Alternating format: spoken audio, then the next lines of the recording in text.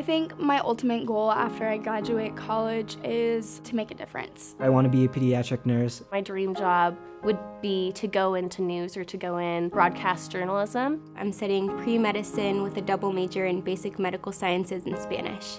The scholarships that I've been given here at WSU have helped me so, so much. I have an older brother, I have a younger sister. University is a big investment and is expensive. I've used my scholarship money for tuition, which has been a huge load off of my family. Applying to medical school is very expensive. I was able to use my scholarship money to make that possible. If there were a donor here right now, I would give them a big hug to say thank you.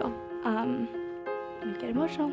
Thank you to all the donors for helping out WSU students like me I want to thank you for giving me my life and for helping me pay for college.